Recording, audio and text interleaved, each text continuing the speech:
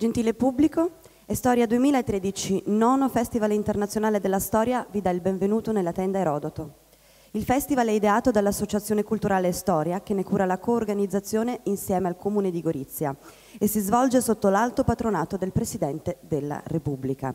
Con il patrocinio del Ministero per i Beni e le Attività Culturali, del Comune di Gorizia, della provincia di Gorizia, della Fondazione Cassa di Risparmio di Gorizia e dell'Associazione Italiana Editori grazie al sostegno delle amministrazioni pubbliche, di sponsor privati e di amici di Estoria, cui vi invitiamo ad aderire compilando la sottoscrizione nel gazebo riservato. Sta per iniziare ora l'incontro intitolato Vita, imprese e mito di Jesse James. Vi presento i nostri ospiti, Giulio Giorello, John McLallan, Federico Rampini, interviene e coordina Massimo Teodori. Buona storia a tutti.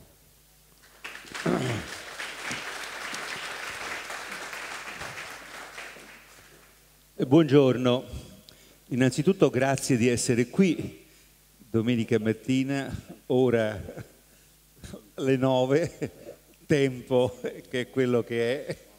Per fortuna stamane la pioggia ci ha risparmiato e speriamo che ci risparmi per tutta la giornata.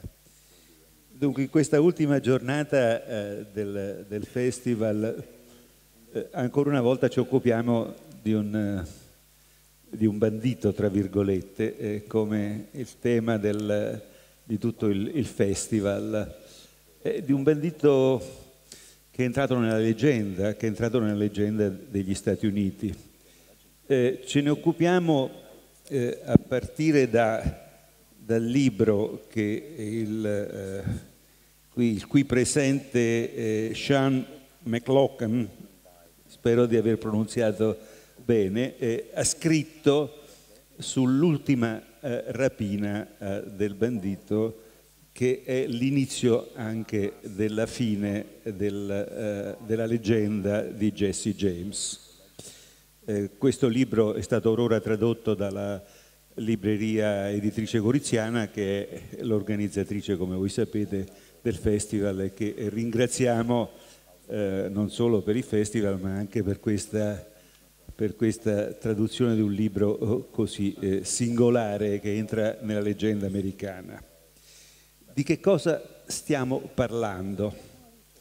Stiamo parlando di un personaggio, Jesse James, che va inquadrato nella storia, in una delle vicende più drammatiche, anzi la vicenda più drammatica eh, della storia eh, americana, la guerra di secessione. Nasce nel 1847, eh, è figlio, Jesse James è figlio di un pastore battista che presto va via da casa e, lascia la famiglia e cresce, nel 1847, cresce durante, all'adolescenza durante la guerra civile che scoppia nel 1860, dal 1860 fino al 1865. Che cos'è la guerra civile americana? Si è soliti ritenere che la guerra civile sia una guerra in favore della uh, liberazione dei neri.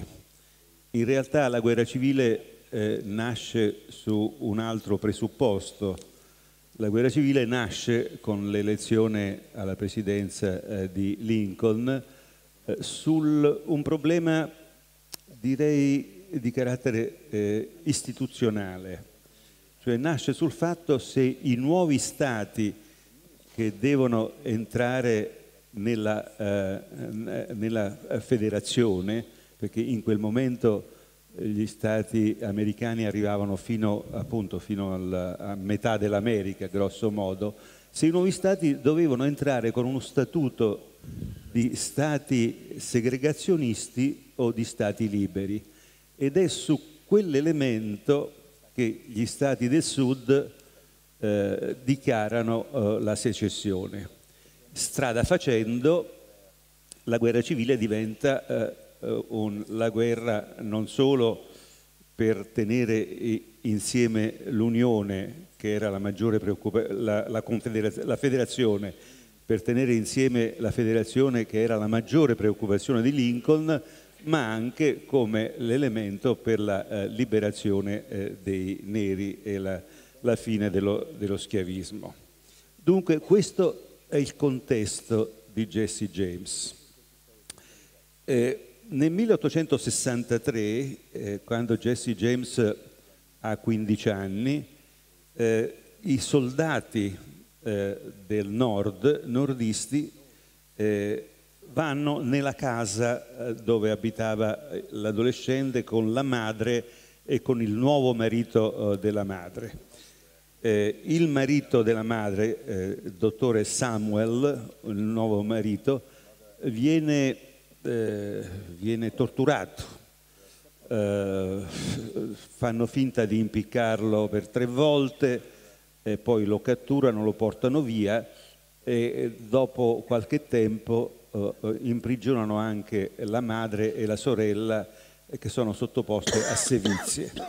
Eh, questo è un elemento molto importante per capire quello che diverrà poi Jesse James, perché l'elemento della, eh, del contesto della guerra civile, di scontro fra i nordisti e i sudisti e le e le sevizie che praticamente la famiglia di Jesse James ebbe da parte dei soldati nordisti furono determinanti eh, per l'attività eh, successiva del giovane Jesse che eh, aveva servito come giovane soldato dell'esercito sud- sudista. Nel 1864, quindi adolescente a 17 anni, eh, finito sta per terminare la guerra civile con la vittoria del nord e sostanzialmente con l'occupazione eh, di tutto il sud, eh, Jesse si unisce eh, a una banda di, eh, una banda di, di fuorilegge. Che cos'è questa banda?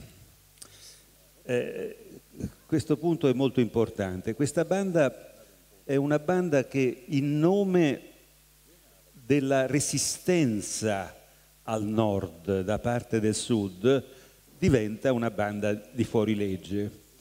Io ieri parlavo con, con Federico Rampini e dicendo la cosa mi ricorda molto qualcosa che avvenne in Italia dopo il 1861. Che cosa avvenne? Che eh, eh, nel sud, eh, e ancora per molti anni, si formarono delle bande di fuorilegge eh, che erano per metà fuorilegge e per metà si richiamavano alla resistenza rispetto ai piemontesi che consideravano come, non come gli unitari d'Italia ma come eh, gli occupanti del sud. E ancora oggi ci sono de, de, degli autori i quali sostanzialmente sostengono queste tesi, credo che qualche autore di questo genere circoli anche eh, in questo festival, cioè di considerare il Sud come una, un territorio occupato eh, eh, dal nord e quindi che la resistenza post-unitaria anche da parte de, dei briganti, in Italia non si chiamavano banditi ma si chiamavano briganti, era un fatto sostanzialmente resistenziale. Qualcosa di analogo accade negli Stati Uniti, con la banda a cui si aggrega, eh, si aggrega Jesse James. Eh, parliamo sempre di un, di un, ragazzo, di un adolescente, di qualcuno che ha, ha meno di vent'anni e questo bisogna tenerlo presente. In breve, nel 1865, alla fine della guerra, lui crea una banda per conto proprio, di cui diventa il personaggio principale, il personaggio eh, carismatico. La guerra, finile, eh, la guerra civile è finita, il nord ha occupato il sud, il sud è stato battuto, la guerra civile americana è stata cruentissima, si può considerare che è la prima guerra moderna con centinaia, migliaia di morti e centinaia, migliaia di feriti, in cui si usano per la prima volta delle armi moderne, è una guerra cruentissima eh, qualche storico dice che è la preparazione poi della grande guerra eh, che avverrà eh, 50 anni dopo. insomma, in questa situazione di desolazione, di macerie, di sangue, eh, questa banda comincia ad agire come una vera e propria eh, banda di eh, fuorilegge. Tutto il resto ve lo racconteranno i nostri amici, eh, soprattutto l'episodio cruciale eh, di questa banda, diretta da Jesse James, eh, che è una rapina nel 1876, consideriamo sempre gli anni, eh, 1876 Jesse ha 19 anni, eh, che eh, va male, eh, fallisce anche con uno scontro a fuoco. Da quel momento comincia il tramonto della banda ed è questo l'oggetto de, del libro del nostro amico americano, comincia, la banda comincia a esserci dei, dei scontri interni sulle responsabilità della rapina andata male, eh, scontri interni che porteranno poi eh, qua, sei anni dopo, nel 1882, alla eh, uccisione dello stesso Jesse James da parte di uno dei membri eh, della banda. Questi sono i fatti eh, e adesso sentiamo eh, il nostro amico americano che ci illustrerà del perché lui ha eh, focalizzato il suo libro sulla rapina fallita del 1876. Più in generale io vorrei porre ai nostri interlocutori eh, alcuni interrogativi che mi sembrano centrali. Il primo è insomma eh, qual è, in che misura eh, in fondo la guerra civile con tutto quello che rappresenta è l'elemento scatenante di Jesse James o in che misura al contrario si tratta semplicemente di un episodio di eh, fuorilegge, di banditismo, eh, cioè in che misura il contesto è determinante. La seconda questione è una questione diciamo, di carattere eh, personale familiare, eh, cioè in che misura l'educazione di Jesse James, personaggio carismatico, che gli deriva dal padre pastore battista, tenete presente che anche Martin Luther King era un pastore battista, eh, in che misura la sua educazione intrisa di moralismo eh, e le vicende che subiscono eh, la madre, la sorella e il patrigno eh, sono gli, elementi che creano eh, il contesto della vendetta personale rispetto ai, ai torti subiti eh, durante la guerra civile. Quindi direi da una parte l'elemento del contesto politico, politico-storico, la guerra civile, dall'altra parte il contesto personale e familiare delle vicende eh, che, appunto, che la famiglia eh, subì in quegli anni. Io di, direi eh, di dare la parola prima al nostro ospite, autore eh, del libro e poi sentiamo i pareri di, di Giulio Giorelli e di Federico Rampini. Please. Thank you. Um, I really appreciate you inviting me all the way to Italy to speak to you today um, about perhaps one of the greatest American legends. Um, and Jesse James was born at the perfect time and place to become an American legend. As uh, my friend here discussed, Missouri was at the forefront of the fight between northern and southern states, slaveholding states and free states. Missouri was a slaveholding state, but it, to the east and north were free states, and to the west was the territory of Kansas. And in the 1850s, there was a large debate about whether Kansas was going to be a free state or a slave state. And Jesse's farm was very close to the border with Kansas, and there was a lot of fighting between pro slavery Missourians basically invading Kansas and Free State Kansans invading Missouri. And this was called Bleeding Kansas, which was, in effect, a small scale civil war for seven years before the actual one started. You might want to do that. Grazie, grazie soprattutto per l'invito, per avermi invitato così lontano in Italia. È veramente un piacere essere qui. Beh, devo dire che certamente parlando di Jesse James dobbiamo comprendere che era veramente eh, il più grande o il primo grande mito americano, un personaggio nato nel tempo e nello spazio giusto per diventare un grande mito, una grande leggenda. Perché lui, vissuto nel Missouri, però al confine col Kansas, lui si è trovato praticamente nella prima linea de, del confine fra il nord e il sud, il nord eh, che lottava per l'abolizione della schiavitù e il sud schiavista. E dunque dobbiamo anche comprendere che lo Stato di Missouri, dove è nato Jesse James, ovviamente era uno Stato schiavista, a destra e a sinistra avevamo degli stati liberi, però c'era una grande discussione appunto perché a ovest dal Missouri abbiamo il Kansas, e lui trovandosi al confine del Kansas, eh, che di, si, si, discuteva negli anni 50 se Kansas volesse diventare uno Stato libero da schiavitù o uno Stato schiavista.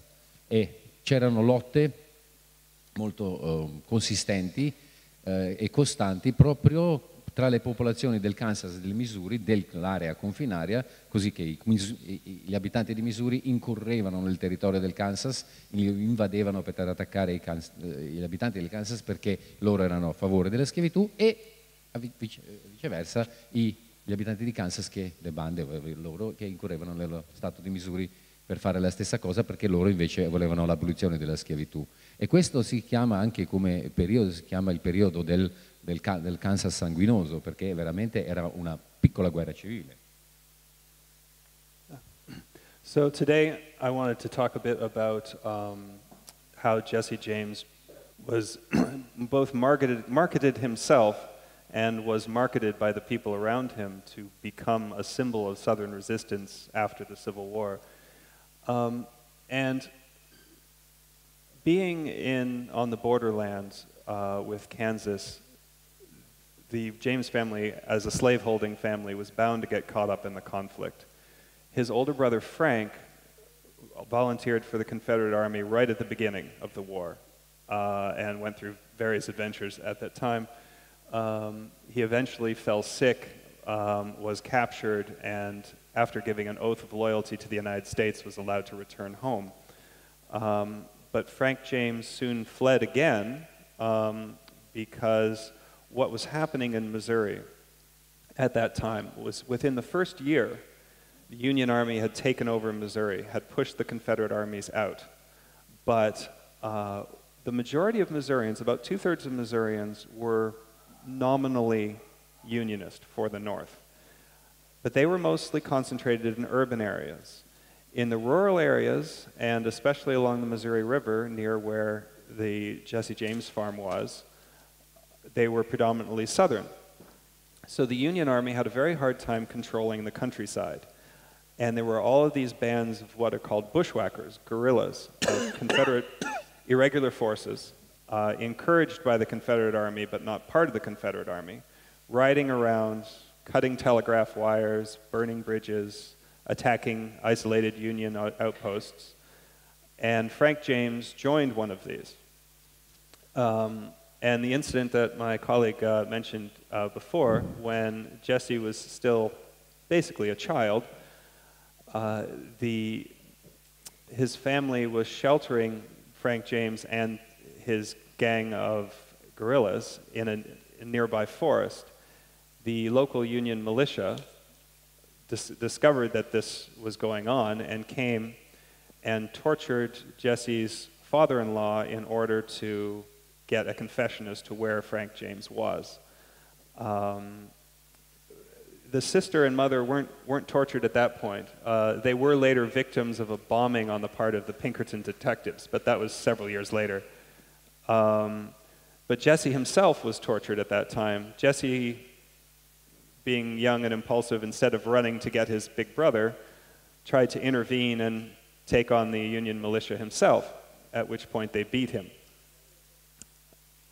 Um, it wasn't very much longer after that that Jesse James went off and became a guerrilla himself. And here is a photo of him at age 16 in 1864, um, dressed up as the typical Confederate Missouri bushwhacker with several pistols, and uh, as you can see, he doesn't wear any sort of uniform. Jesse James è riuscito a fare un buon marketing di se stesso, della propria figura, e dunque ha venduto l'immagine del, eh, del combattente per la libertà del Sud, della resistenza contro il Nord. Trovandosi al confine col Kansas, cioè una parte del fiume Missouri, ovviamente spesso eh, è quasi normale che eh, doveva diventare praticamente uno che lottava eh, al lato dei confederati contro gli unionisti. Eh, aveva un fratello maggiore, eh, Frank James, che appunto prima di Jesse James si unì ai confederati eh, lottando contro i nordisti, si ammalò, venne catturato e lo hanno rilasciato soltanto dopo che ha fatto un solenne giuramento di fedeltà agli Stati Uniti. Tornato a casa, poi fuggì di nuovo e si riunì di nuovo ai confederati. Questo è importante per comprenderlo perché uh, in un primo anno della guerra gli unionisti riescono a catturare, ad occupare il territorio del Missouri e dunque a sottometterselo. E dobbiamo anche dire che le, più o meno due terzi della popolazione del Missouri all'epoca erano unionisti, erano a favore dell'Unione il problema erano le campagne, erano le zone rurali, perché soprattutto questa maggioranza si trovava nelle zone urbane. Le campagne invece gli unionisti non riuscivano a controllare perché eh, gli abitanti delle campagne invece erano per eh, la schiavitù, dunque erano confederati. Ed è qui che ovviamente troviamo Jesse James, suo fratello maggiore, suo, la sua famiglia, che poi eventualmente a un certo punto gio, eh, si aggiungono a un uh, gruppo irregolare un, di guerriglieri confederati chiamati bushwhackers e questi qua insomma girano per il territorio attaccando le postazioni uni, unioniste, tagliando i fili del telegrafo, eh, bruciando ponti eccetera. Frank James ovviamente ne fa già parte, Jesse James vi si unisce eh, più tardi perché all'epoca dell'incidente eh, eh, menzionato all'inizio dove praticamente prima torturano il patrigno di Jesse James. All'epoca Jesse James è ancora un ragazzo, ha meno di 16 anni, e il fatto sta che la famiglia sta nascondendo il fratello maggiore Frank James e la sua banda nel bosco vicino. Ovviamente uh, l'unità della milizia unionista locale lo viene a scoprire e per quello arrivano alla casa di Jesse James, ovvero della sua famiglia, perché vogliono stanare Frank James e la sua banda. Ovviamente la madre e la sorella verranno torturate più tardi, è il patrigno che viene torturato in quel momento perché vogliono appunto estrarre notizie da lui. Anche Jesse James eh, soffre eh, violenza a quel momento perché invece di correre, avvertire il fratello, nascondersi o qualsiasi cosa, lui da ragazzo vuole affrontare questa milizia da solo. Ovviamente viene picchiato e poco dopo lui anche si aggiunge alla guerriglia, a 16 anni lo vediamo alla foto, nel 1864, ed è vestito con il vestito tipico da guerrigliero confederato, da bushwhacker, senza un uniforme ufficiale, con tutte le pistole, eccetera. Now, at this point, Jesse James was an unknown. There had been a couple of mentions in local newspapers that he had joined a bushwhacking band, but he, he wasn't known, uh, he wasn't the famous person he was to become. People were far more likely to have heard of this man. This was his commander, the commander of the guerrilla band. Uh, his name was Bloody Bill Anderson, which was a nickname that was used both by his friends and his enemies. Um, and he was famous for riding around Missouri attacking Union soldiers or Union supporters. Um, he and his men would often scalp uh, the, their victims and rode with their scalps dangling off of the, uh, their horses' saddles and bridles. Uh, they also cut off people's ears, people's noses, other parts of people's anatomy, um, and were the terror of Missouri. Um, in late 1864, however, um, Bloody Bill Anderson was killed by a lucky Union militia and um, was propped up to be photographed. Um, what's interesting, as we'd mentioned before, is that Jesse James grew up without a father. His real father died when he was very young. His mother married again, but that marriage was a failure. And then she married a third time to Reuben Samuels, who was the man who was tortured uh, in the famous incident uh, during the Civil War he was, from all accounts, a very passive character, and in fact, he gave away information to the Union militia after being tortured, although Frank James did get away at that time. So Jesse didn't, 16 year old Jesse, this child, um, didn't have a father figure, and this was the closest thing he had to it. Um, a person who went around cutting people's hair off. A quell'epoca Jesse James ovviamente non era ancora un personaggio, non era famoso. Qualche menzione qua e là nei giornali locali che eh, c'è un nostro Jesse James che si è unito ai Bushwhackers e basta. È molto più probabile che la gente dell'epoca, di quegli anni esattamente, conoscesse questo personaggio.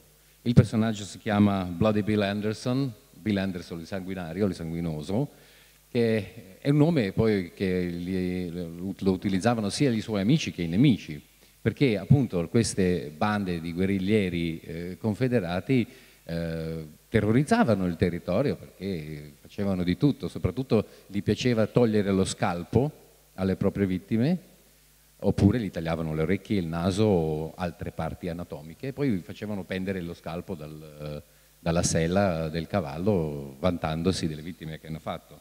E così nel 1864, eh, però nel tardo 1864 verso la fine, Bloody Bill Anderson viene ucciso da un eh, miliziano unionista che ha avuto quella fortuna di poterlo eh, scovare e uccidere eh, lo fotografano, lo mettono da morto, lo mettono su, lo tengono su per fargli la foto e così praticamente finisce anche questa leggenda.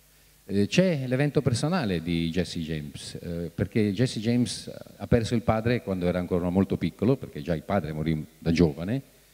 Il secondo eh, marito di sua madre, cioè il primo patrigno, era un periodo brevissimo di un matrimonio che fallì e poi abbiamo il terzo personaggio, che è appunto Ruben Samuels, è il patrigno torturato dagli unionisti, che invece era un carattere debole, era passivo, quasi per dire. Quando infatti lo torturano gli unionisti per estrarre le informazioni, lui canta, lui rivela la, la, il posto dove si trova Frank James. Ok, Frank James riesce a scappare, riesce a fuggire, ma comunque, ecco, quello che manca a Jesse James da giovane è una figura paterna.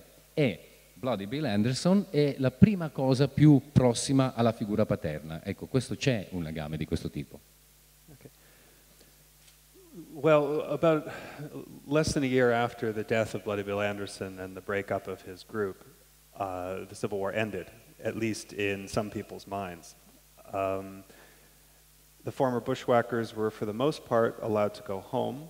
Um, and for a brief period, Frank and Jesse James did go home it is often said that the former bushwhackers were hunted down and killed after the war and uh, were not allowed to lead normal lives. And that's only partially true. In a couple of cases, bushwhackers were hunted down and, and shot.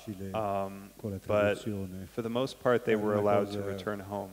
The problem was in Missouri after the war was that anyone who supported the South during the war was not allowed to vote, hold public office, be a teacher, a lawyer, or even preach in a church. They couldn't even be clergymen. So the Southerners felt very oppressed after the war.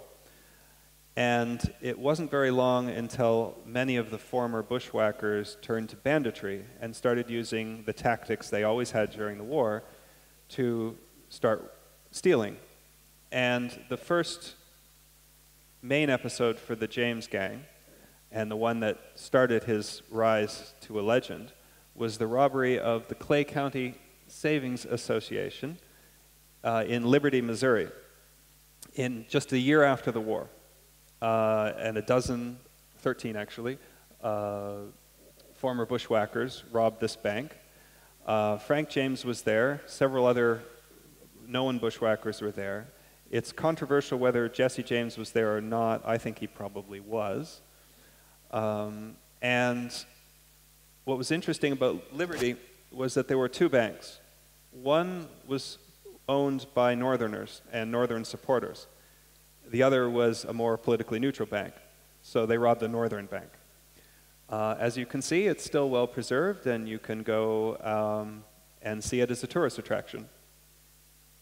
And they joke that they probably, the town has probably made more money off of tourism than they ever lost in the robbery. Cosa succede? A un anno, un anno dopo la morte di Bloody Anderson la guerra civile finisce, almeno nelle teste di alcuni. Finita la guerra i bushwhacker sono, tornano a casa.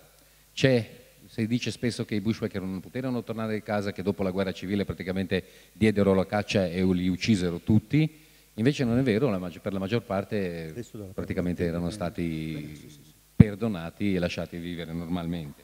L'altro problema in verità è che tutti coloro che nel Missouri eh, appoggiarono la causa dei sudisti, eh, dopo la fine della guerra civile praticamente non potevano assumere nessun ufficio della pubblica amministrazione, non, potevano, non avevano diritto di voto, non potevano essere insegnanti, pastori, predicatori, niente, praticamente non potevano lavorare. E perciò poco dopo molti dei bushwhacker continuano, ritornano di nuovo in campagna e diventano semplicemente banditi, utilizzando tutti i metodi che utilizzavano durante la guerra, i metodi di guerriglia, per semplicemente rubare.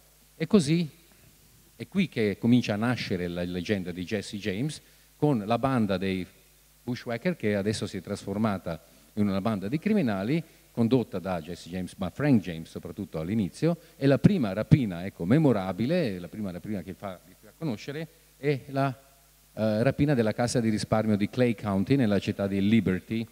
La cosa interessante è qui che Frank James era certamente presente, altri bushwhacker anche, non si sa se era veramente presente anche Jesse James, ma molto probabilmente lo era, e attaccando questa banca loro hanno fatto anche una scelta politica, no? perché c'erano due banche, c'era la banca dei nordisti e una banca politicamente neutrale, ovviamente loro attaccano quella dei nordisti. La banca è molto ben conservata, la si può visitare ancora oggi e c'è anche, uh, un, si scherza nel, nella città di Liberty che la città di Liberty ha guadagnato più dai turisti che vennero a vedere la banca che quanto abbia perso dalla, nella rapina di quella stessa banca. And at this tourist site you can see um, a cutout of Jesse James in the, uh, in the vault. Uh, but we'll pass over that and we'll get to the man who really started the legend. Um, as Jesse James was robbing banks, he was also sending very political letters protesting northern policies and claiming he was persecuted uh, and also claiming that he was innocent. Um, and a influential newspaper editor named John Newman Edwards, uh, who was a former Confederate uh, officer, um, began to write on his behalf and, and glamorize his incidents and also wrote two books that included uh, uh, information, mostly exaggerated information about Jesse James. And it was John Newman Edwards who was the first to really bring Jesse James to national attention and make him what we would call today a media star.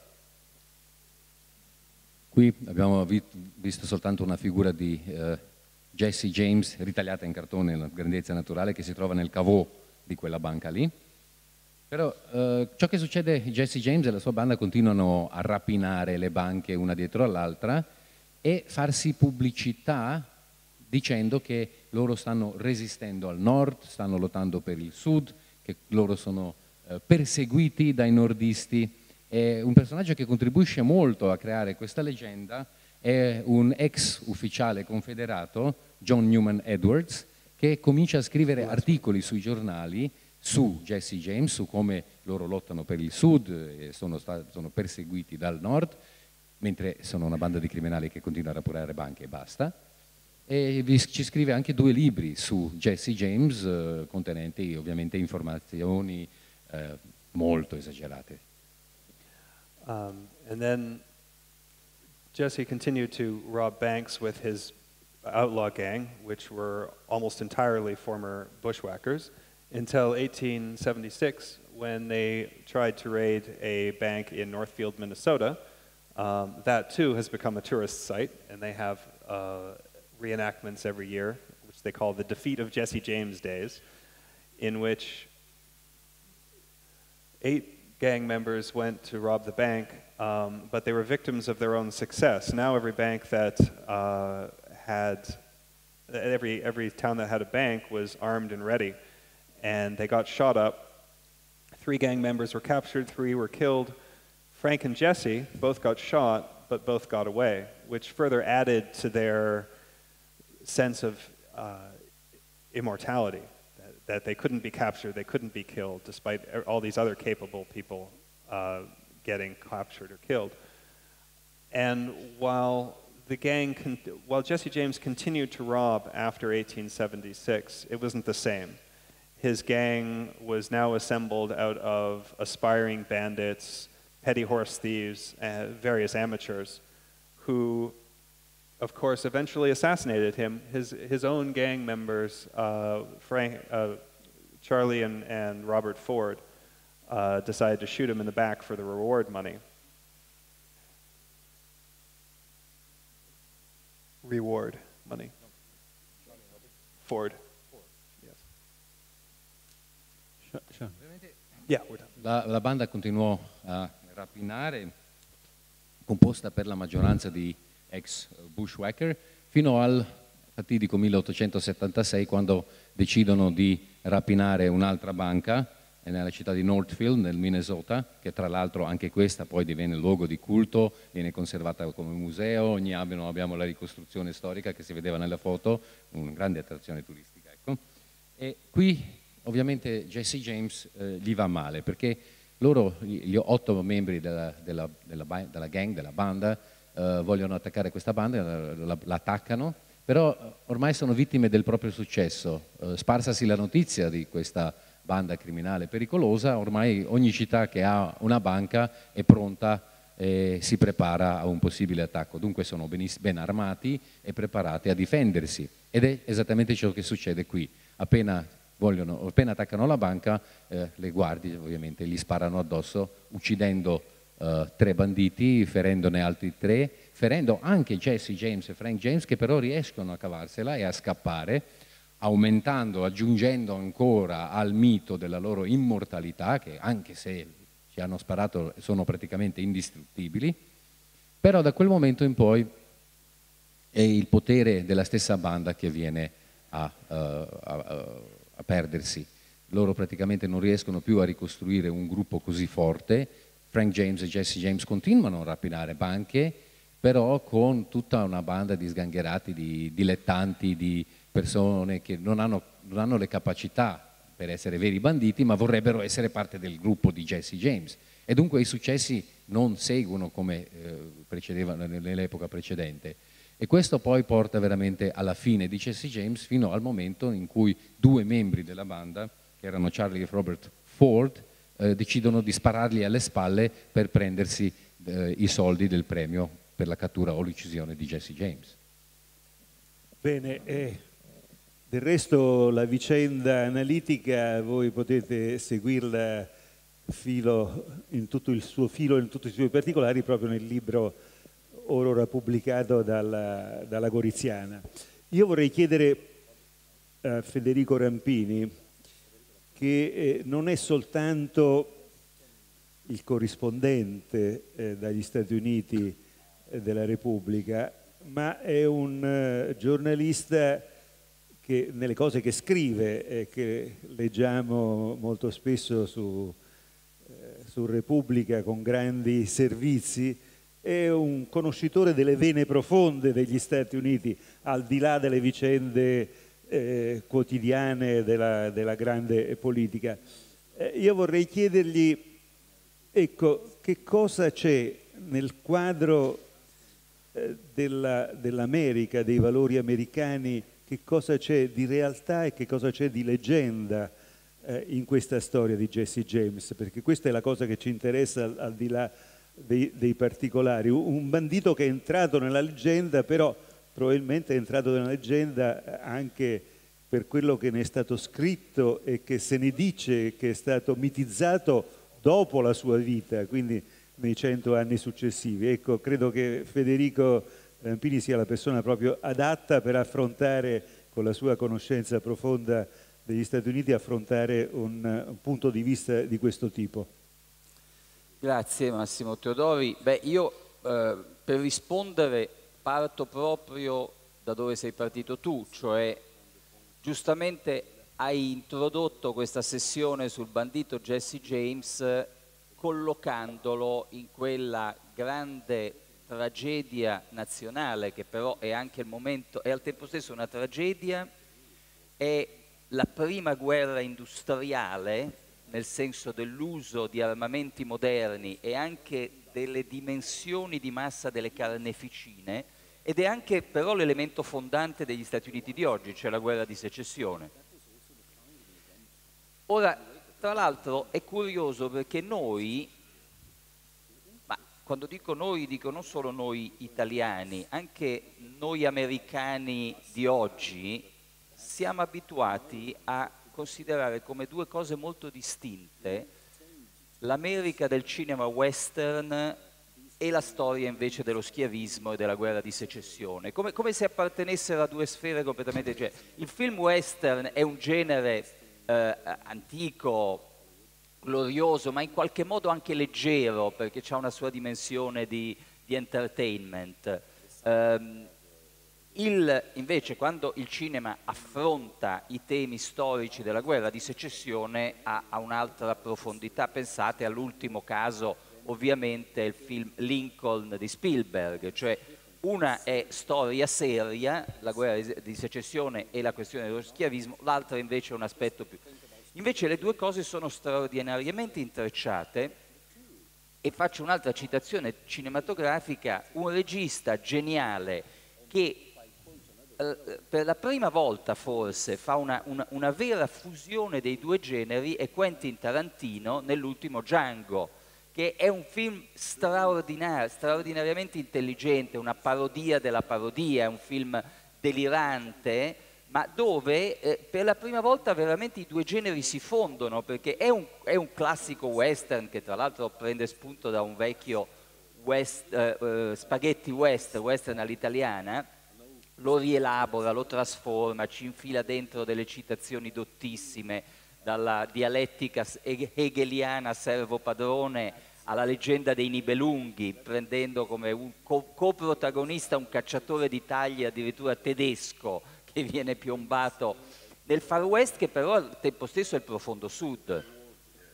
E, e, e il protagonista del film è un nero ed, e diventa un eroe di una prima forma di rivolta, una specie di Spartaco, di Spartaco nero tutto questo per dire che, ecco, questo è un caso in cui il cinema ci, ci ricorda che le due cose erano legate. Allora, eh,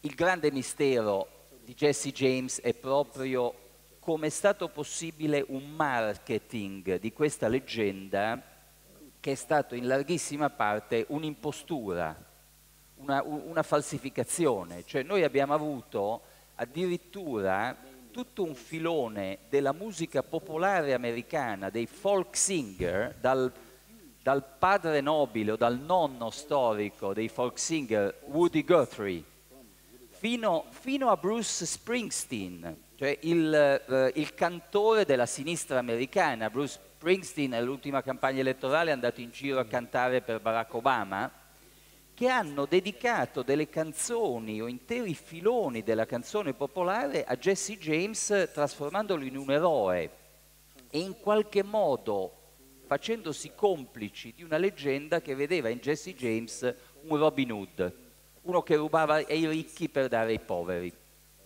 Non, lo, non è mai accaduto questo, cioè, Jesse James e la sua banda rubavano ai ricchi sicuramente perché eh, eh, quelli che avevano i soldi. È, è, è, lì che ci sono i soldi, cioè è difficile rubare altrove. Rubavano ai ricchi, su questo non si discute, ma i poveri non hanno mai ricevuto niente. Gli unici poveri che ricevevano erano uh, Jesse James e i membri della sua banda. E tuttavia ha avuto una resistenza incredibile questa leggenda di Jesse James come Robin Hood. Perché? Perché questo è accaduto? Al punto da, da farne un eroe della canzone popolare di sinistra e qui tra l'altro mi ricollego a quello che diceva giustamente Teodori prima, cioè questo ci ricorda cer- certe ambiguità, certi equivoci, eh, certe eh, mistificazioni di, di, un meridionalismo italiano che ha trasformato i briganti del sud in eroi popolari eh, quando invece venivano da una cultura addirittura di nostalgia borbonica, quindi di una cultura profondamente reazionaria. Borbo, Jesse, borbonica e clericale, borbonica per, per, perché c'erano i, i, preti e i vescovi che sollecitavano i briganti certo. a reagire contro lo Stato unitario, insomma, questo ricordiamolo.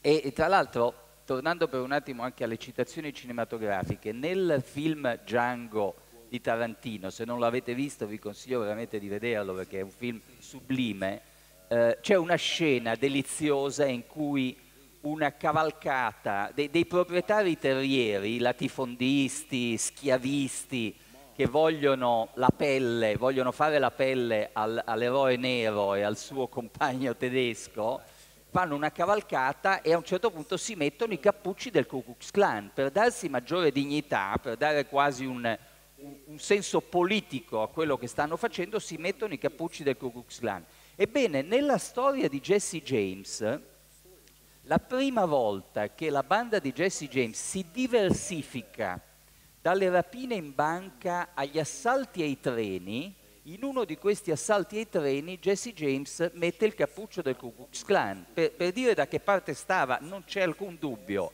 era uno schiavista, era dalla parte sbagliata della storia.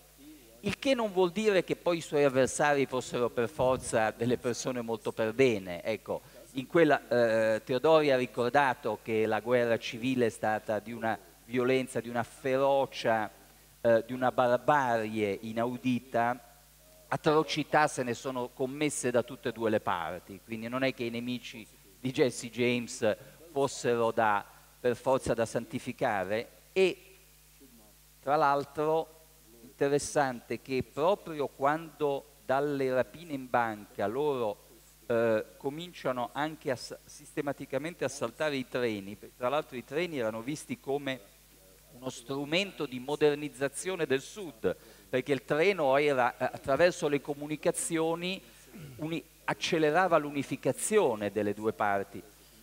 È lì che eh, la Adams Express Company, che gestiva il trasporto valori via treno, è stato uno dei grandi business del, de, dell'America di quell'epoca. Pensate che l'altra grande società che gestiva i trasporti per lo, per lo, più tra le due coste era la Wells Fargo di San Francisco, trasportavano i lingotti d'oro dalla, da, dalla California verso New York, oggi è una delle maggiori banche americane, ma all'origine la Wells Fargo erano portavalori facevano il, il servizio.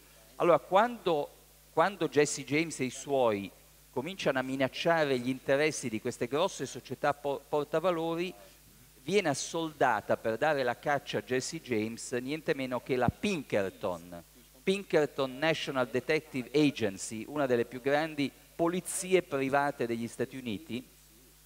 Ecco, tenete presente per, per dire che gli avversari di Jesse James non erano dei santi, la Pinkerton, tra le sue specialità, tra i suoi business, era anche al servizio dei grandi industriali americani per spezzare gli scioperi, cioè intervenivano sparando agli operai in sciopero. Questo era uno dei mestieri che faceva la Pinkerton. Sì, Quindi so, non, non, non, so, c'erano... So, soprattutto nelle, nei, nei, dopo la Prima Guerra Mondiale, quando ci sono stati i grandi red rights, cioè i grandi scioperi, quindi con la repressione, la Pinkerton aveva questo ruolo che, che tu dicevi, insomma, che è andata avanti da, da, da metà Ottocento, dalla guerra civile, fino, fino, agli anni 30, insomma, gli anni, dei grandi, anni 20, gli anni 30, gli anni dei grandi scioperi, che si accentuano subito dopo la Prima Guerra Mondiale.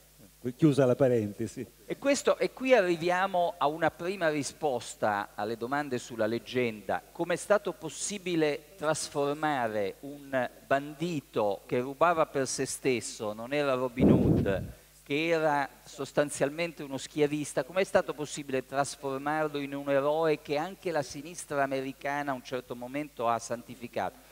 Beh, una, una, spiegazione molto semplice, si ricollega a un tema del quale parlerò in questo festival questa sera alle 7, cioè eh, molto semplicemente eh, Jesse James assaltava le banche e le banche erano talmente impopolari che per una, una sorta di, di contrappasso, chi se la prendeva con... perché già in due, in due periodi, nel, negli anni 1860 e negli anni 1870, l'America aveva attraversato delle crisi economiche e finanziarie in cui le banche si erano distinte per il loro ruolo malefico e distruttivo. Quindi c'era una sorta di rabbia popolare, di rabbia popolare contro i banchieri.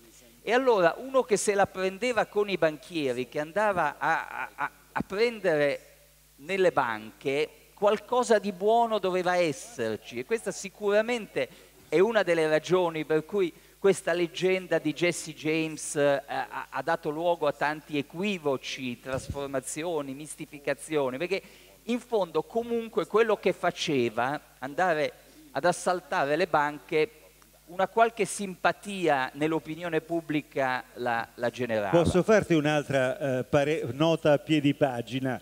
Eh, negli anni 70, 1870 e seguenti, nasce in America il People's Party. Che cos'è il People's Party? Eh, è il partito del popolo che è l'origine della parola populismo.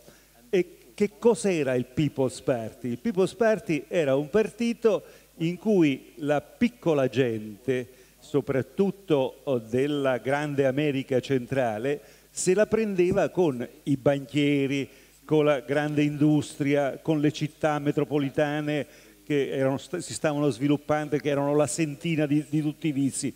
Quindi quella cosa che diceva Federico, che cioè questa simpatia suscitata, è la stessa cosa che dà vita a questo movimento che è il populismo americano, da cui poi nascono tutti gli altri populismi, compreso quelli attuali italiani. Ed è molto giusto inquadrare la vicenda, la leggenda di Jess James, cioè l'interpretazione che se ne dà proprio in questo contesto di reazione della piccola America contro la grande America dell'industrializzazione, cioè delle grandi industrie, del, delle strade ferrate, eh, del, de, del, petrolio, de, dell'acciaio eh, e quindi delle banche che sono quelle che posseggono. Chiusa la parentesi. Ma io concludo brevemente rispondendo eh, infine all'altra tua domanda, cioè eh, l'attualità eh, di, di, questi temi nell'America di oggi e così facendolo dico qualcosa anche sul tema della religione che tu avevi evocato all'inizio ricordando che eh, eh, Jesse James aveva avuto anche un'educazione religiosa. Ecco, attualità e religione sono due cose che eh, mi, mi riesce facile unire in questo caso perché intanto bisogna cominciare col dire che in, in qualche modo la guerra di secessione non è mai finita, cioè le conseguenze, le eredità di quella tragedia fondatrice degli Stati Uniti sono ancora in mezzo a noi. Se voi guardate la mappa elettorale d'America, chi è che ha eletto Barack Obama e chi ha votato per Mitt Romney alle ultime elezioni, non dico che coincida perfettamente, però quegli stati del profondo sud che in qualche modo hanno finito anche con l'inglobare quello che all'epoca era il Far West, perché non dimentichiamo, oggi, oggi quando diciamo Far West per ragioni geografiche ci verrebbe da pensare alla California, perché l'estremo ovest, era, invece no, il Far West era, era il Texas, quello era il Far West. Eh, allora il Texas oggi per esempio è il più grande serbatoio di voti repubblicano, il più, più grande stato di destra. Se, se, i repubblicani ancora hanno delle chance di vincere la Casa Bianca è finché il Texas vota repubblicano. Il giorno che il Texas con l'evoluzione demografica e l'immigrazione ispanica dovesse eh, vacillare dall'altro lato e diventare democratico diventa molto complicato e, per e il ritornare democratico. E ritornare democratico, come ai tempi di Lyndon Johnson. Come ai tempi certo. fino agli anni 40. Certo. Eh, comunque, alcune delle ferite della guerra di secessione non sono riemarginate ancora oggi. Eh, ci sono ogni tanto dei movimenti di destra che iniziano delle raccolte di firme per dei referendum popolari, ad esempio per l'indipendenza del Texas, per staccare il Texas dagli Stati Uniti. Eh, negli stati del sud è evidente che ci sono ancora delle forme di razzismo molto, ma molto più profonde, molto più radicate eh, a livello eh, di, di, diffusione popolare del razzismo come non, non ci sono negli stati del nord. Eh, quindi è, è, una storia ancora molto molto presente ed è una storia che si intreccia col ruolo della religione. Cioè può sembrare un mistero come a volte l'America più razzista sia anche l'America più bigotta, noi diremmo, ma anche la più religiosa, quella dove i tassi di partecipazione alle funzioni religiose sono altissimi. Allora è singolare perché si fa fatica a trovare nel Nuovo Testamento, nei Vangeli, eh, una frase che giustifichi lo schiavismo, una frase che stabilisca che ci sono eh, agli occhi di Dio delle razze superiori e delle razze inferiori e tuttavia la storia del razzismo americano, la storia dello schiavismo è stata una storia profondamente intrisa di religiosità e vorrei ricordare l'ultimo esempio che faccio di attualità che Mitt Romney, il candidato al, alle ultime elezioni presidenziali del Partito Repubblicano, era addirittura era stato un vescovo della Chiesa mormone, la quale Chiesa mormone fino a epoche relativamente recenti ha teorizzato che i neri sono una razza inferiore. Non potendo trovare questo nel Nuovo Testamento e nei Vangeli, eh, la Chiesa mormone ha, terza, ha un terzo libro sacro, cioè l'Antico Testamento, il Nuovo Testamento e poi la rivelazione ai mormoni, che è il terzo libro sacro della Chiesa mormone, dove sta scritto, poi l'hanno emendato perché a un certo punto si sono resi conto che facevano fatica a essere accettati nell'America moderna, ma fino a non molto tempo fa i mormoni teorizzavano proprio in chiesa eh, che i neri, che, che Dio ha, ha, voluto imprimere quel colore a una parte della popolazione perché fosse chiaro che erano diversi e inferiori agli altri. Grazie Federico. Eh, Giulio Giorello è un filosofo della scienza, dico bene eh, ma soprattutto, oltre ad essere un filosofo della scienza, è uno dei, dei grandi esponenti in Italia eh, di quello che possiamo chiamare il pensiero libertario, eh, forse il maggiore esponente. E allora io vorrei chiedere a Giulio eh, come mai il tuo interesse eh, per Jesse James? Perché eh, Giulio Giorello ha scritto quando ancora prima ancora della, della traduzione della, della, uh, del libro uh, dalla Goriziana, un grosso articolo sul Corriere della Sera.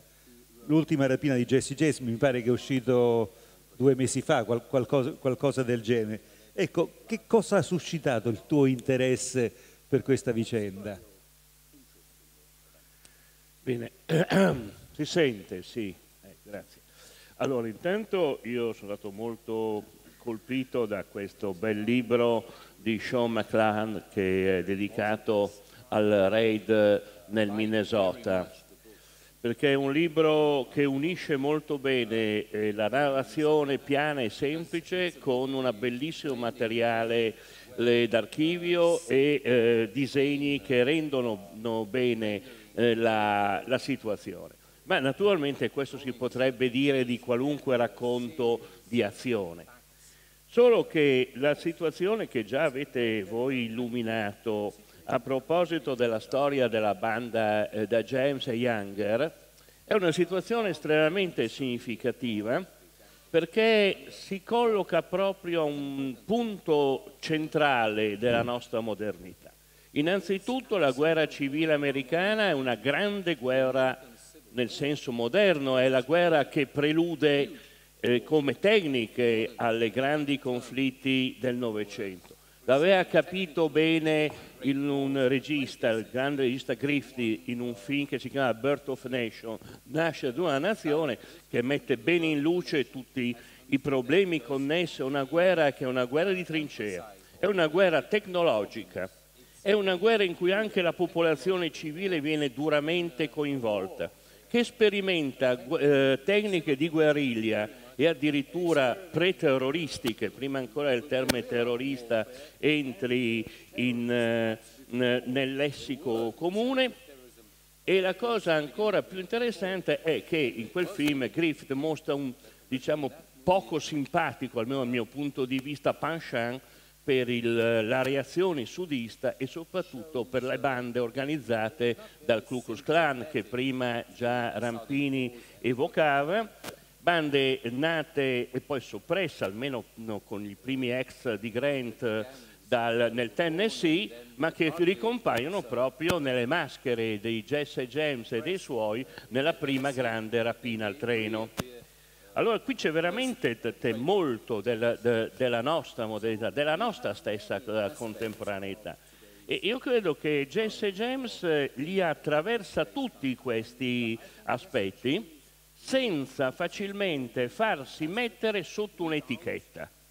Non funziona per lui l'etichetta di Robin Hood che lui stesso aveva con la complicità della stampa locale del Missouri alimentato, non eh, funziona nemmeno la, mh, mm, eh, la, figura del bandito cavaliere gentiluomo, perché sì, gentile forse con qualche vedova o qualche bianco del sud incontrato su un treno, molto meno con i Jim Crows, cioè con, con, con i neri, con i neri non c'è nemmeno l'idea del bandito sociale come ci ha insegnato Osborne, perché è vero, Jesse James può essere un vendicatore degli interessi di alcuni agricoltori rimessi al margine dal sistema ferroviario, dal sistema bancario, ma sono quelli stessi che sono stati simpatizzanti del sud più estremisti che vengono appunto esclusi dal voto e penalizzati durante il periodo cosiddetto della ricostruzione. Quindi è eh, un po' tutte queste cose e nessuna di queste. E questo credo sia l'elemento di fascino che questo personaggio esercita eh, anche su quelli che dovrebbero guardarlo con un certo sospetto. Prima Rampì giustamente diceva ricompaiono le ballate di Jesse James persino nel grande folk americano di sinistra, da Peter Seeger fino no, a Bruce Springsteen. Ma forse l'elemento più drammatico e più che colpisce è proprio nel carattere di, dire, di, insofferenza a ogni vincolo sociale che Jesse James esprime talvolta in una forma caratteriale estremamente dura. Credo che fosse Robert Pinkerton, il figlio del fondatore dell'agenzia, che diceva che Jesse James è il tipo che eh, ammazzerebbe uno a sangue freddo con la stessa nonchalance con cui prende la sua colazione alla mattina. E effettivamente questa componente distruttiva è direi l'altra faccia eh, forse del mito americano, della grande leggenda americana, della stessa democrazia americana. In questo senso continua a sfidare le categorie degli storici e eh, questo ne fa io credo anche il fascino di un grande cattivo che è stato catturato anche in due bei film che sono venuti anche in Europa. Uno si chiama The Lone Riders, che è una ricostruzione molto precisa secondo me e eh, sottolinea soprattutto gli aspetti di legame con il clima post guerra civile americana e invece uno dedicato all'omicidio, all'assassinio, sarebbe meglio dire, di Jesse James da parte del codardo Robert, Ford, che invece scava gli aspetti psicologici di una persona che alla fine della la, la sua carriera, dopo il disastro di Northfield in Minnesota, è costretto a servirsi di complici di quart'ordine e è ossessionato dallo spettro del tradimento. Questo curiosamente ne fa una figura eh, un po' anche nell'iconografia del tempo, quasi shakespeariana. Pare che Jesse James citasse Shakespeare ogni tanto quando rapinava un, un treno o una banca, eh, citando tra l'altro l'episodio del principe Henry, il quale le fa il borseggiatore nei suoi momenti di debauche all'inizio del, della tragedia di Shakespeare. E questa componente shakespeariana eh, si ritrova anche nel, nel, nella morte di Jesse, colpito alle spalle mentre sta ripulendo un quadro da un po' di polvere, evidentemente era un uomo che, che amava l'ordine, era un po' così un po e lo voleva dritto, lo voleva dritto e spolverato. Ognuno ha i suoi gusti, no? Eh, eh no, e, e, per spolverarlo e per non farsi vedere dalle finestre esterne si era tolto il cinturone, l'unico sì, momento. Esattamente, nel momento in cui si toglie il cinturone il traditore lo colpì. C'è una storia, sembra una storia biblica. Eh, il parallelo addirittura può sembrare blasfemo tra eh, Jesse James e Gesù Cristo, ciascuno no, no, dei quali incontra il suo Giuda, è una cosa che ricorre nella letteratura eh, immediatamente dopo la morte di Jesse James, anche se, e anzi forse l'altro effetto molto interessante è che molti dei suoi complici, a cominciare dal fratello Frankie, invece alla fine, scontata la pena, alcuni non vanno neanche in galera, finiscono a diventare o predicatori dell'ordine che vanno a dire il crimine non paga, oppure vendono i sassolini della tomba eh, di Jesse, prima la mamma, poi il, il fratello Frank, quando i sassolini della tomba non ci sono più, vanno al fiume vicino, li prendono e, e, e inizia il commercio. Ecco, rispetto a questo eh, ricompare, eh, ricompare la, la figura eroica, drammatica e terribile di colui che non si pente mai. Grazie. Grazie Giulio. Adesso abbiamo Abbiamo pochi minuti, mi pare 5 minuti, no? 10 minuti. Eh, se ci sono domande sono molto gradite. Voi avete sentito qui voci che hanno messo in luce i diversi aspetti di questa vicenda che è una importante vicenda personale ma anche una importante vicenda nel contesto della storia americana e della nascita di una nazione come quella che viene fuori dalla guerra civile americana. C'è qualcuno che vuol fare delle domande, eh, possibilmente eh, brevi perché il tempo stringe? Qualche mano? C'è una... Qui, qui davanti... Prego, prego. Eh, visto che siamo in tema di banditismo, fra Salvatore Giuliano e Jesse James, le differenze sono molte ma anche qualche punto in comune c'è. La fine tragica, le, la, la, la, un, è diventato un, un eroe malgrado nonostante fosse più bandito, più brigante che altro, che rapporto ci può essere tra i due, differenze e cose, Voce. che si, differenze e cose che si assomigliano in Salvatore Giuliano e in Jesse James. Eh, raccogliamo due o tre domande e poi... Eh, nella leggenda americana ci sono i banditi del Far West. La storia di Jesse James ha qualcosa di simile con i banditi del Far West, perché nella nostra cultura americana è il Far West e i banditi. Tecniche oppure valori, oppure sono proprio due storie diverse, Jesse James e i banditi del Far West? Allora, eh, eh io rispondo, a, rispondo alla, alla, prima domanda. Eh, Giuliano e Jesse James. Eh, beh, che cosa si può dire? Beh, si può dire che anche il bandito Giuliano eh, era incrociato nella sua storia di, di, di, banditismo con la secessione siciliana, perché questo, questo era, eh, insomma, lui si nascondeva dietro, si nascondeva oppure partecipava oppure alimentava eh, l'esercito eh, siciliano per, si chiami, pare che si chiamasse Avis o qualcosa del genere, per, per l'indipendenza della Sicilia, quindi in questo senso c'è un parallelismo, ma naturalmente come tutti i parallelismi sono soprattutto nelle nostre interpretazioni più che nella realtà. Per quanto riguarda Far West e, banditismo, credo che era un tema che aveva... Secondo me è meglio. Eh, Giulio, pu puoi rispondere alla domanda, alla, alla domanda del signore che, che diceva c'è un... Eh, c'è un, un, rapporto fra eh, la vicenda del Far West e, e, e Jesse cioè, James. La seconda domanda. La seconda domanda, sì. sì.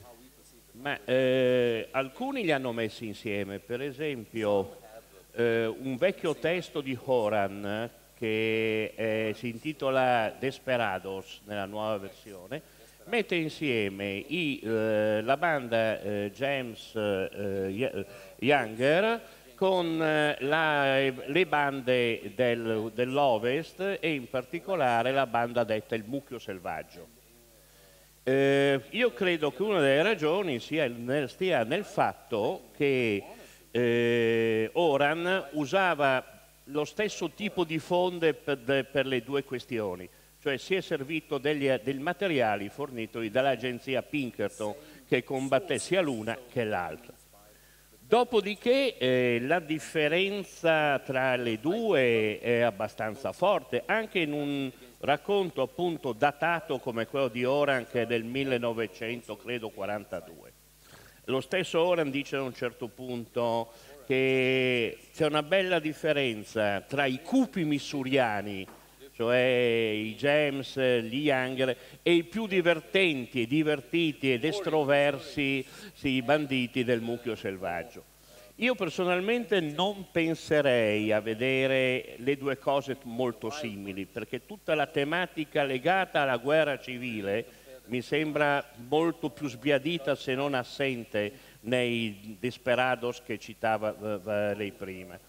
Tanto più che nel Missouri ci fu non soltanto la guerra civile di frontiera, cioè la guerra between the states, eh, tra stati e stati, ma ci fu anche una guerra civile dentro la guerra civile tra unionisti radicali, unionisti conservatori, restare dell'Unione ma senza dare eh, troppa libertà ai neri, e quindi contrari in linea al principio anche all'emancipazione, e invece i secessionisti puri duri. Quindi sono almeno tre schieramenti, neanche due, che si combattono a macchia di leopardo. Questo secondo me segna una forte differenza tra le due posizioni.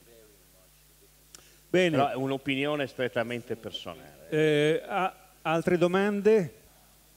Eh, eh, buongiorno a tutti. Eh, volevo chiedere all'ospite americano, no? dopo 150 eh, anni, eh, Jesse James, come è considerato un ribelle, patriota, diciamo un Robin Hood che però rubava ma non dava ai poveri?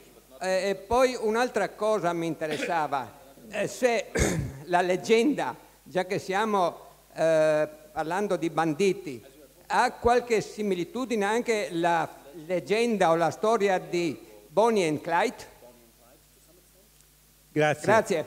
Can you Thank answer, you. please? Sure. Well, you ask how Jesse James is perceived, and um, that really depends on who you ask. Um, in general, there there is a vague idea of him being a rugged outlaw defying authority, which might explain why uh, he's so popular with um, some more liberal Americans, that he's seen as, as thumbing his nose, you know that expression, uh, um, uh, at the, a controlling government. Um, but he's thought of as many different things, especially among Southerners. He's considered a Southern hero, a Southern partisan. Um, and many people are very confused about Jesse James. When I first started writing this book, a friend of mine, a lawyer, a very educated man, asked me, are you going to have to get copyright for the permission for the character? He thought Jesse James was a fictional character because he's been so fictionalized over the years that he wasn't aware that Jesse James actually was a real person. Um, so the various images of Jesse James, I think the most predominant is of this sort of Robin Hood, rugged character who, who stole from the rich and occasionally gave to the poor, um, and also as a Southern rebel. That's, that's a very strong uh, thread throughout all of the literature and, and movies, and especially in the South. And as far as comparing them to Bonnie and Clyde, there was Bonnie and Clyde weren't really very political. Um, there was a bit of that element of, of the daring during a, a hard economic times of two downtrodden people fighting against the banks. Uh, but they never got, they were never at a, a crux of political and economic factors to really make them as enduring of a legend as Jesse James, as strong of a legend as Jesse James? Riguardo alla domanda come viene percepito Jesse James dipende da chi, a chi si fa la domanda, chi chiediamo come percepisce Jesse James, perché rappresenta una serie di cose a persone diverse. c'è un'idea vaga su un bandito che si è messo contro le autorità, lottava, rubava, rapinava, faceva di tutto, ma è molto vaga e molte persone praticamente non sanno chi fosse veramente Jesse James. Ed è per questo, per la sua lotta contro le autorità, che Jesse James diventa anche, come abbiamo visto per i cantanti di sinistra e per anche quelli più liberali, diventa una leggenda perché è uno che ha affrontato il governo. E molte cose diverse, soprattutto al sud è certamente considerato un eh, combattente per la causa del sud, un eroe del sud, eccetera, però le idee sono molto confuse, sono molto vaghe. Per dare un esempio, un mio amico ben educato, molto eh, educato, un avvocato, prima di cominciare a scrivere il libro mi chiede ma dovrai chiedere i diritti d'autore per poter scrivere su questa figura? Perché lui era convinto che Jesse James fosse una figura dalla fiction, cioè inventata e non una persona reale.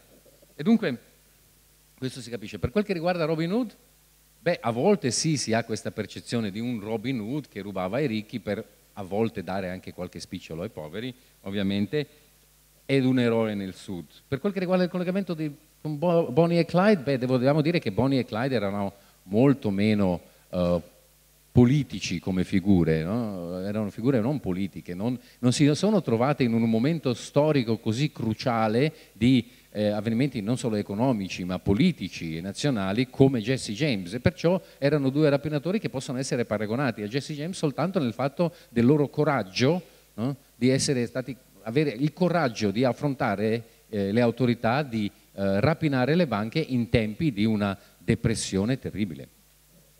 Bene, eh, Federico Rampini voleva appunto aggiungere ancora qualcosa. Prego. Sì, eh, mi, mi, attivano sempre le citazioni cinematografiche perché il cinema ha avuto un'importanza straordinaria nel introdurci a tutte queste leggende americane. Allora, Bo Bonnie and Clyde è veramente un'altra storia. Bonnie and Clyde facevano le rapine in automobile, eh, non a cavallo, ed è, ed è, una storia molto legata proprio alla, alla Grande Depressione, quindi a, un'America dove il banditismo può essere il, una delle reazioni disperate alla povertà di massa.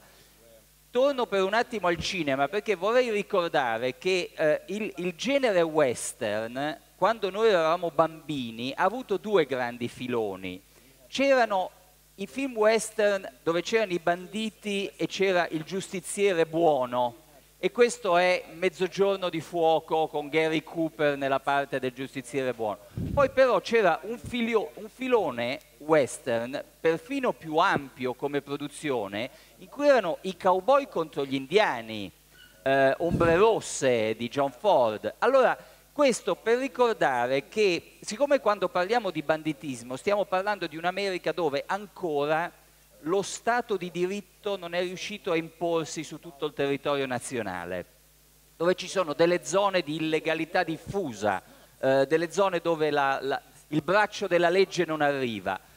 Non bisogna mai dimenticare che c'è un capitolo precedente a quello di Jesse James, eh, alla guerra di secessione, allo schiavismo, che fu il genocidio degli indiani, dove eh, i banditi erano i coloni bianchi, quello era, la, era, era, stato il banditismo fondatore degli Stati Uniti, erano i coloni bianchi che quando non ce la facevano da soli con le loro forze a fare strage di indiani e a liberare il territorio per appropriarsene, chiamavano le giubbe blu, ed erano le giubbe blu, allora era, il banditismo di Stato, il terrorismo di Stato quello che portava a termine lo sterminio degli indiani perché il, il banditismo privato dei bianchi potesse conquistare interi territori e scrivere la storia d'America come se fosse su una pagina bianca, mentre pagina bianca non era, c'era una popolazione che era vissuta lì precedentemente. Bene, eh, il nostro tempo è scaduto, eh, nel frattempo la sala si è più che riempita, io ringrazio Federico Rampini, ringrazio Giulio Giurello, ringrazio il nostro amico americano che ci ha dato la uh, possibilità di eh, leggere questa vicenda che è stata illuminata in ogni aspetto. Voi troverete, ringrazio tutti voi, voi troverete il libro della libreria Goriziana nel banchetto qui di fianco e tutti gli altri libri eh, degli autori qui presenti. Grazie e buongiorno.